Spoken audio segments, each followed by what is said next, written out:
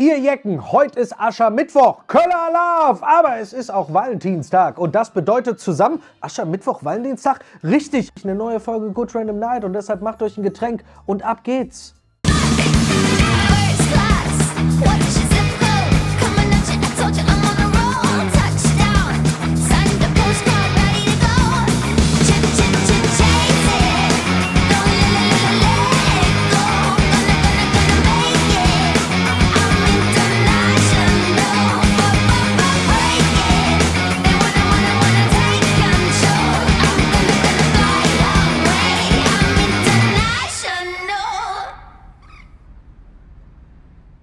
Einen wunderschönen guten Abend, meine lieben Randoms. Schön, dass ihr wieder eingeschaltet habt. Oder habt ihr nie abgeschaltet?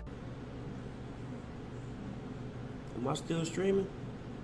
Aber ja, was geht ab, meine lieben Randoms? Es ist wieder soweit. Ab sofort gibt es wieder jeden Mittwoch eine neue Folge Good Random Night. Immer um 18 Uhr. Ich würde mich freuen, wenn ihr immer dabei seid, denn ich setze mich ja hier auch hin, damit wir interagieren können. Also so halb, weil ich rede und ihr hört zu und trinkt euch vielleicht was Leckeres. You boss, I'm late. I'm late. I'm late. Äh, apropos trinken, wir sind ja jetzt in der Abendsendung, ne? Wir sind nicht mehr am Morgen, wir brauchen keinen Kaffee mehr und hier ist auch noch gar nichts drin. Was machen wir denn jetzt? Wir brauchen was zu trinken. Rindertatar, Rösti, Kaviar, Sauvignon.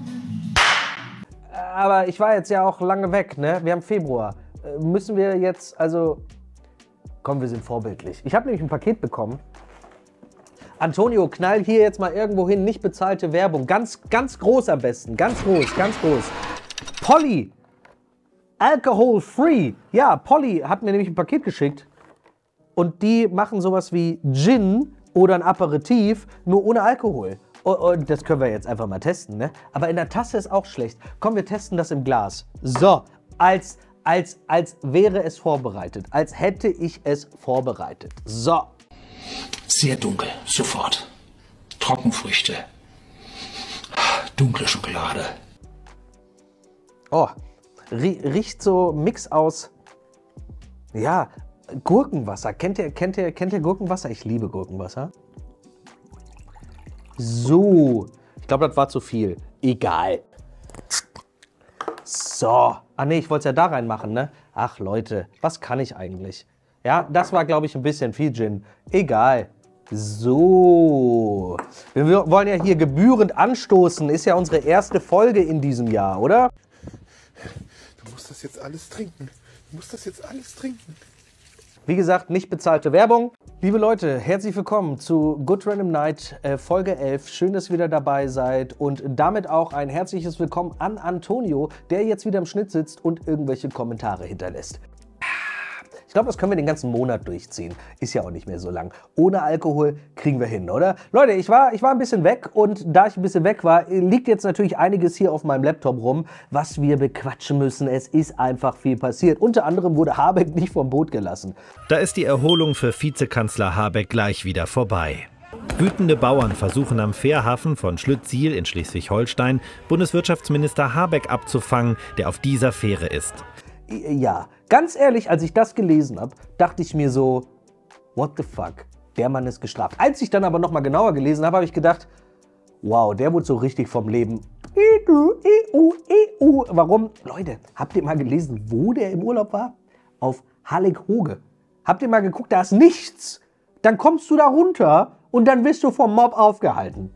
Wie, wie sehr bestraft dich das Leben, wenn das so für dich abläuft? Aber hey, gestraft wurden zuletzt auch meine Augen und zwar als ich das hier gelesen habe. Also ich habe es versucht zu lesen, aber anscheinend bin ich einfach zu alt, um das noch richtig zu entziffern und meine Augen einfach zu schwach. wenn er schreiben und lesen kann, ihn dann dem Stenografenverein nahezubringen. Das da äh, kannst du dir gar nicht ausdenken. Also die Farbenkonstellation, wow.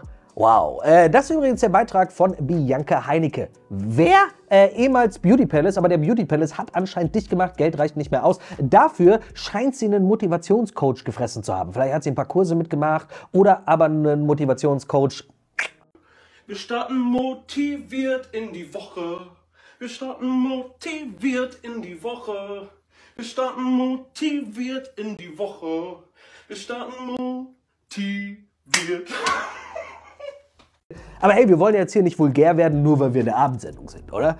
Oder? Und ich meine, hey, Wahrheit ist die Erfindung eines Lügners, ne? Muss man auch mal dazu sagen. Ja, ich weiß auch nicht, warum das jetzt relevant war für dieses Video, aber hey, vielleicht ist was anderes relevant für euch gewesen. Zum Beispiel, dass Meta künftig möchte, dass KI-generierte Bildinhalte und Toninhalte gekennzeichnet werden. Also so ähnlich wie man das auch schon mal mit so Plakaten gemacht hat, wo dann dran drauf stand, wurde mit Photoshop bearbeitet.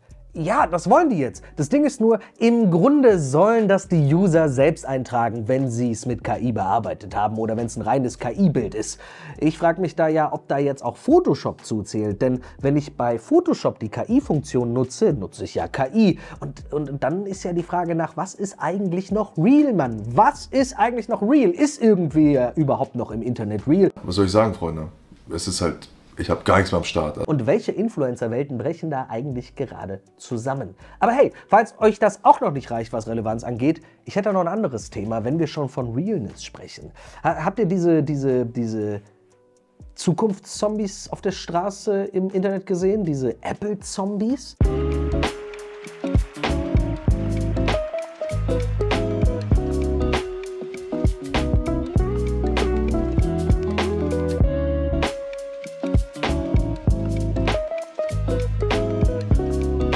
Ja, ich weiß, die Simpsons wussten es vorher und auch zurück in die Zukunft hat es schon angedeutet.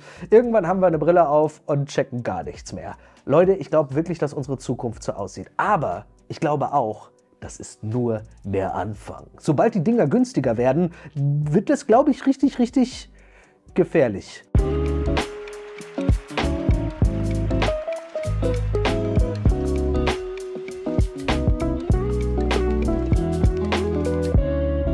Aber das mal zur Seite geschoben, denn wisst ihr, was ich mich eigentlich gefragt habe? Was weiß Mark Zuckerberg, was wir nicht wissen? Der Typ lässt sich gerade einen Bunker bauen und arbeitet nach wie vor an seinem Metaverse, also das, was wir ausgelacht haben, wo er es verkündet hat und was bisher auch nicht so wirklich funktioniert. Aber spätestens seitdem jetzt Apple seine eigene Vision Pro hat, scheint das Thema wieder angesagt zu sein und so könnte auch die Meta Quest 2 und 3 eventuell erfolgreicher werden, als man vielleicht erwartet hat. Aber was weiß dieser Mann, was wir nicht wissen? Ich meine, entschuldigen kann er sich vom Senat, vom Menschen. Aber was weiß der Mann? Wieso baut er sich einen Bunker? Warum setzt er so sehr auf VR-Welten? Und was, was weiß Warner davon? Warner, kennt ihr den Film Ready Player One, basierend auf dem gleichnamigen Buch von Steven Spielberg? Also das Buch ist nicht von Steven Spielberg, aber kennt ihr den Film da, wo man im Grunde in virtuellen Welten Abenteuer erleben kann und sein kann, wer man will? Das ist ein großer Traum, oder? Diese Welt, die, die wird jetzt wirklich gebaut. Und zwar fürs Metaverse. Warner arbeitet an genau so einem Projekt. Da kannst du dann Batman sein. Ja, ja, jetzt, jetzt kommt der schlechteste Gag der Welt. Hast du mich und Batman schon mal in einem Raum zusammen gesehen? Nee, oder?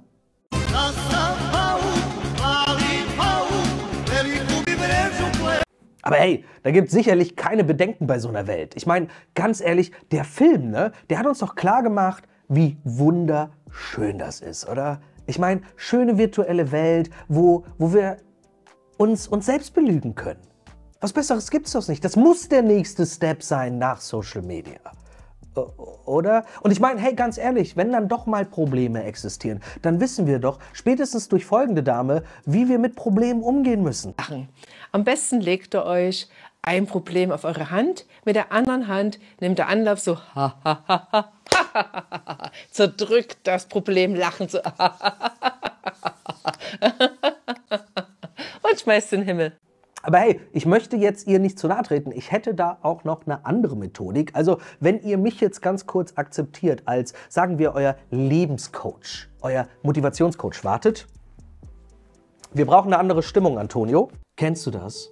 Du kennst das sicherlich, wenn du dir etwas kaufen willst, aber pleite bist, kein Geld mehr auf der Bank und auch nicht im Portemonnaie. Du denkst sofort, oh Mann, ich habe ein Problem. Aber ich sag es dir, du hast das Problem nicht. Denn es gibt eine ganz einfache Lösung. Du musst einfach das Problem auf jemand anderen schieben und schon geht's dir besser. Und wenn ihr jetzt denkt, Ran, das ist ein richtig, richtig schlechter Tipp, man kann seine Probleme nicht einfach auf jemand anderen schieben. Hey, der Tipp ist nicht von mir, sondern von Galeria. Die sind nämlich mal wieder insolvent. Also mal wieder, genau wie die KDW-Kette. Aber die sind insolvent, nicht aus Eigenverschuldung, sondern weil die Mieten zu hoch sind. Denn wären die Mieten nicht, dann wäre man nämlich auch nicht pleite. Ja, weil Umsatz kommt ja rein, aber die Mieten sind einfach zu hoch. Kann ich verstehen. Also jetzt mal ganz ehrlich, wenn man sich ein bisschen rein informiert, dann weiß man, okay, der René Benko ist schuld, beziehungsweise seine Immobilienfirma. Aber der braucht eben auch Geld. Der Mann sitzt bei sich zu Hause und denkt sich, ich bin privat insolvent, ich habe keine Kohle mehr. Also ich bin jetzt gerade nicht flüssig, vielleicht habe ich doch Geld. Jedenfalls offiziell schwierige Situation. Und hey, wem kann man es verübeln? Der Mann braucht auch Geld, um zu überleben. Der will auch nicht pleite sein, ja? Da, also da würde ich auch hohe Mieten nehmen, wäre ich Vermieter. Ne? Also, René Benko trifft da ja wohl keine Schuld. Aber Galeria sagt Schuld. Der Insolvenzantrag von Galeria Karstadt Kaufhof am Unternehmenssitz in Essen kommt nicht überraschend. Wie ein Kartenhaus fällt die Konzernmutter, die Signa-Gruppe des österreichischen Investors René Benko, in sich zusammen. Aber ja, Galeria musste mal wieder Insolvenz anmelden, weil sie eben die Mieten nicht zahlen können. Ey, immerhin können die nur die Mieten nicht zahlen, ihre Mitarbeiter ja schon noch irgendwie. Im Gegensatz zu dem, was René Benko Hamburg gerade antut, also vor allem den Unternehmen, die am Elbtower gearbeitet haben, beziehungsweise seit Monaten eben nicht mehr arbeiten, denn die wurden nicht bezahlt. Und Hamburg hat da jetzt einen Riesenklotz am Eingang der Stadt stehen. Ein Klotz, der zum größten Gebäude Hamburgs werden sollte und aber jetzt nicht weitergebaut wird. Und die Stadt Hamburg möchte es jetzt auch erstmal nicht zurückkaufen, denn sie wollen doch nicht so schnell sich irgendwie entscheiden wegen dem ganzen Bums. Ja, möchte das Grundstück des Elbtowers vorerst nicht zurückkaufen.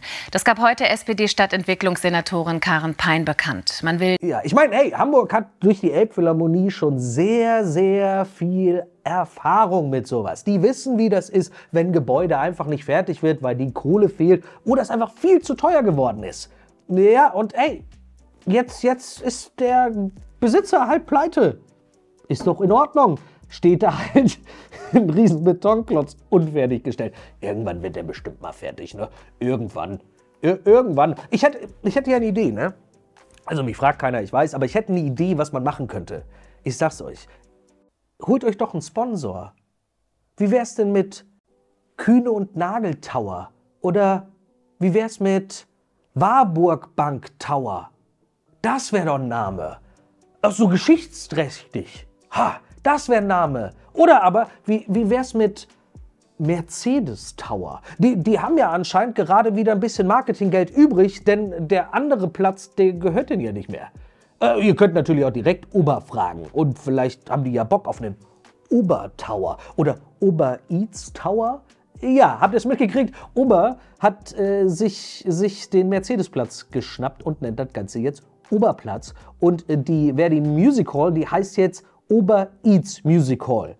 Ja, geil für alle, die dort auf dem Mercedesplatz irgendein Geschäft haben und jetzt auf ihrer Internetseite überall Uber hinschreiben müssen. Und selbst die Stadt Berlin wurde damit im Grunde ein bisschen von hinten genommen. Warum? Weil es gab ja immer wieder Stress damit, dass Uber in Berlin überhaupt angeboten werden darf, also der Fahrdienst Uber. Ja, ja, das hat Ewigkeiten gedauert, bis das dann doch wieder akzeptiert wurde, nicht akzeptiert wurde und so weiter. Und jetzt kaufen die sich einfach mal in die Arena ein, wo einfach zig Konzerte stattfinden und man diesen Namen immer wieder erwähnt.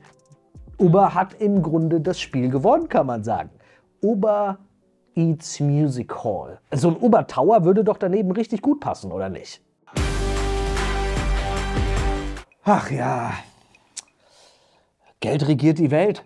Habt ihr das mit Universal Music und TikTok mitbekommen? Sicherlich habt ihr mitbekommen, oder? Ich meine, wie konnte man das nicht mitbekommen? Äh, seit kurzem gibt es Millionen Videos bei TikTok, die eigentlich mal mit Musik unterlegt waren, aber nun stumm geschaltet sind. Warum? Weil Universal Music sich dazu entschieden hat, all seine Musik von seinen Künstlern von TikTok runterzunehmen. Denn TikTok und Universal konnten sich nicht einigen. Genauer gesagt eigentlich Universal Music und ByteDance, die Mutterfirma. Ja, mit dem Chef aus woher? Canada, I'm Singaporean. No. Äh, Sing Singapur.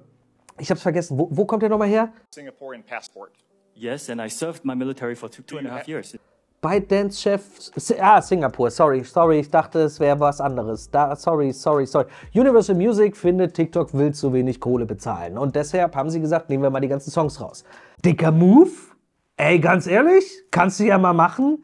Ist nur scheiße für vor allem die ganzen kleinen Künstler, die bei Universal Music gesigned sind, denn auch deren Songs sind nun nicht mehr auf TikTok zu hören. Und ich bin jetzt kein Kenner, aber ich würde ja sagen, mit meiner laienhaften Meinung, seine Musik auf TikTok zu haben, die vielleicht durch irgendeinen Trend trendet, also da tanzt jemand zu deinem Song oder es gibt ein Cover oder du machst halt wirklich diese Covernummern.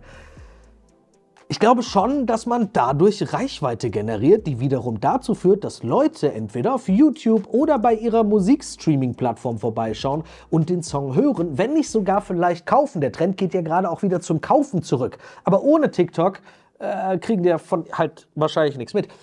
Ganz ehrlich, ich nutze TikTok fast ausschließlich dafür, mir Schwachsinn anzugucken oder neue Musiktipps zu bekommen.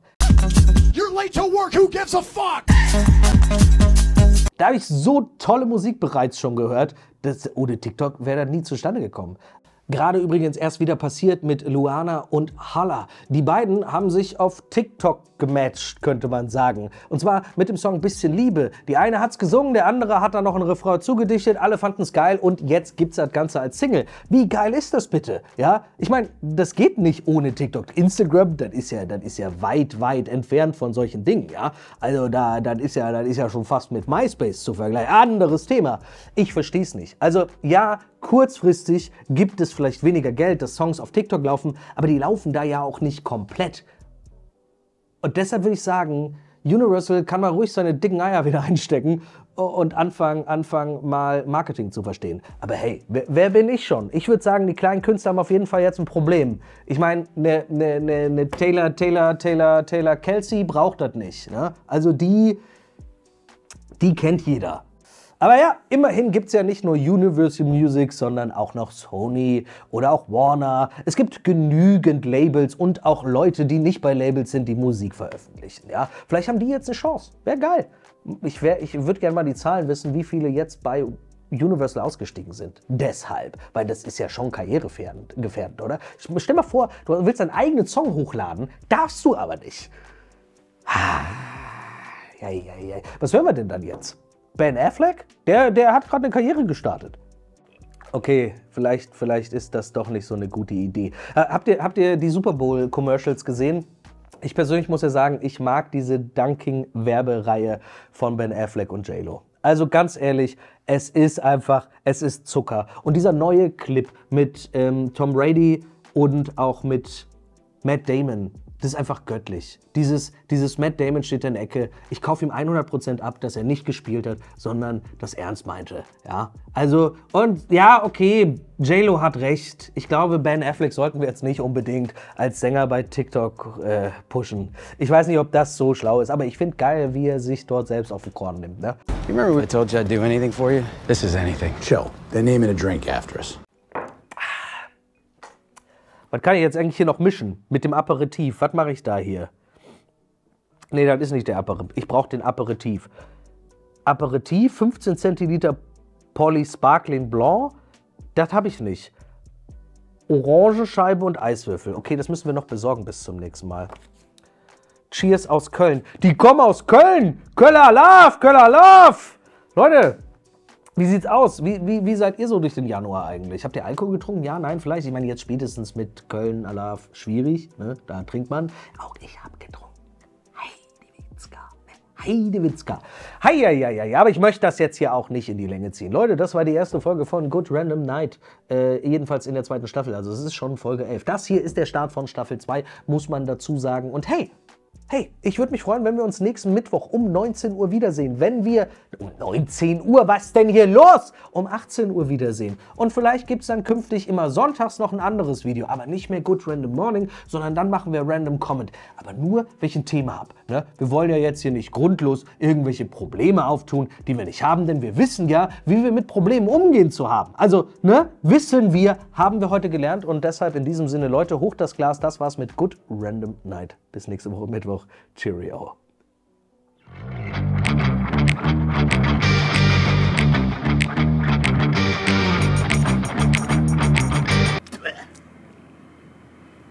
Das war ein gutes Ende.